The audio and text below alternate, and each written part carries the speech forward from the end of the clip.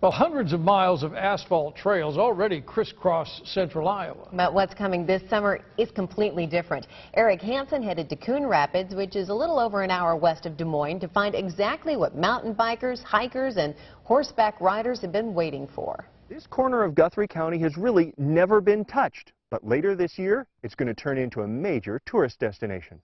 Anyone who thinks Iowa's just flat cornfields should head a mile south of Coon Rapids. My gra great grandfather bought the first parcel uh, in 1882, and we've been uh, loving this land ever since.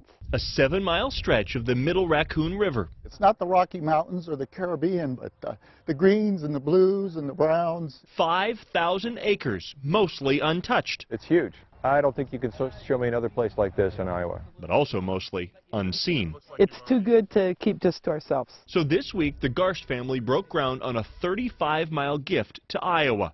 Trails for horseback riders, more for hikers. And we're, we're adding 16 miles of mountain bike trail, which will make a Whiterock the, the best destination trail in Iowa and actually the best in 400 miles. A double wide loop will overlook the river valley from above. And then below this big loop will be single track trails, which will be more like backcountry, wilderness feeling, really lose yourself in the wood trails. Built to be a day-long or even weekend destination that'll draw horses, mountain bikes, and hiking boots from all over the Midwest. 25,000 people come to state parks with trails. We expect that many to come to Whiterock. bringing plenty of tourist dollars to town as well.